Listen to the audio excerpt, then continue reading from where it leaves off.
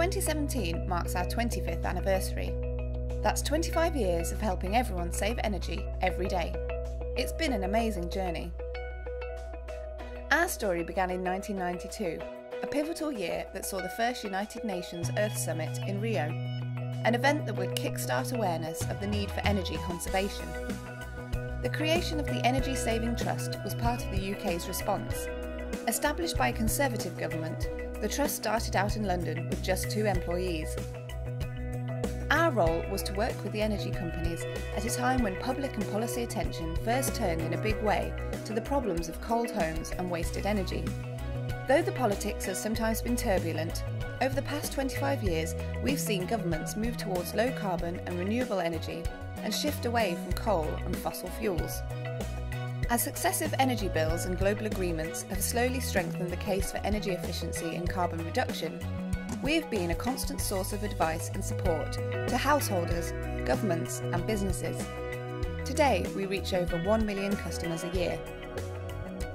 The creation of a strong energy saving trust presence in Scotland, Wales, and Northern Ireland highlights our commitment to devolution We've supported each devolved government to put in place their own energy saving policies, reflecting national priorities.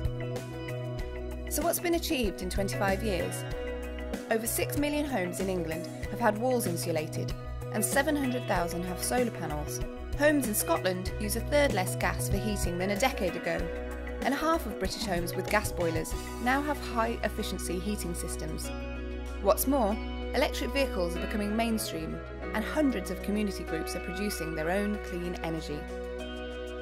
And we don't just focus on the UK, we're also a leader in Europe, where our relationship with our neighbours continues to thrive.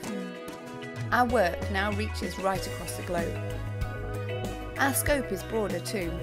We help our customers save energy, anything from a simple change in how they use their appliances to buying an advanced renewable energy system. We tackle the energy used in transport and we make the connection between water use and energy. We're connecting with more industry sectors too. Together, we're finding new ways to save carbon and deliver the wider benefits of energy saving jobs and growth, healthier homes, and cleaner air. We remain a passionate team, dedicated to making change happen. We increasingly work in partnerships, collaborating with others. We are powerful influencers, helping to shape and inform the energy landscape with insight and intelligence. We've come a long way in 25 years, and our role will remain vital as the clean energy transformation continues.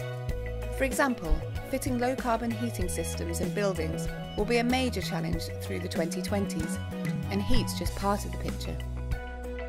The next phase in the journey to meeting our 2050 carbon targets means significant changes to our homes, communities, cities, and transport infrastructure.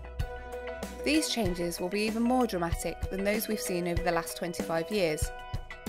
It's a challenge that we at the Energy Saving Trust are determined to rise to. Thank you for being part of the journey.